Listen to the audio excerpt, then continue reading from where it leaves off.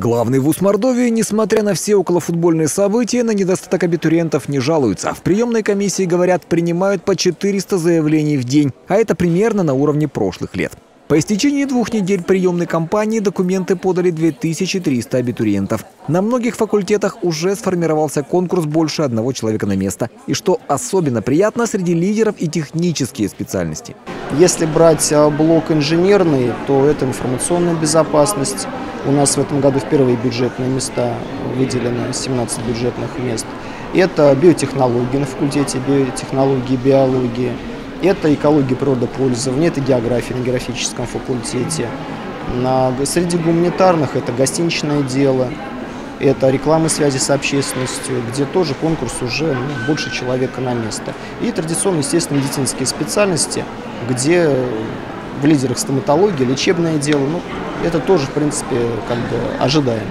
А вот очереди у стоек, где принимают документы на технические специальности, несколько длиннее ожидаемых. В них встречаются и вчерашние школьники, и те, кто уже получил профессию. Я хочу быть архитектором, потому что считаю эту специальность достаточно престижной.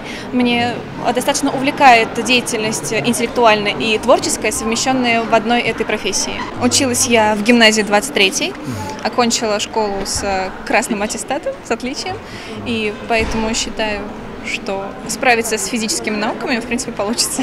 Я на базе уже техникум это изучал, я знаю, что будет в дальнейшем. Мне это легче будет даваться уже в институте. И вот из-за этого я решил поступить сюда. У меня есть специальность техник-электрик. Вот. Я закончил четыре курса.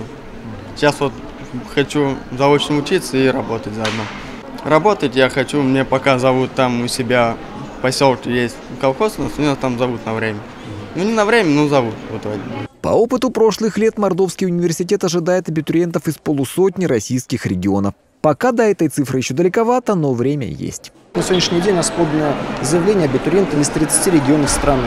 География достаточно большая. В лидерах, понятно, Нижегородская область, Ульяновская область, Пензенская область. Но есть и желающие учиться с Камчатского края, есть желающие учиться в Мурманской области, Волгоградской области, Ставропольский край, из Москвы 10 человек изъявили желание учиться, поэтому география достаточно большая. Плюс иностранцы. Пока поступили заявления от представителей 16 государств. Здесь и привычные нам узбеки, таджики и туркмены, а также более экзотические колумбийцы, перуанцы и граждане Демократической Республики Конго. Всего МГУ имени Огарева ожидает порядка 6 тысяч комплектов документов. И только около 4,5 тысяч их обладателей пополнят ряды студентов и магистрантов. Павел Степаненко, Александр Данилов. Наши новости.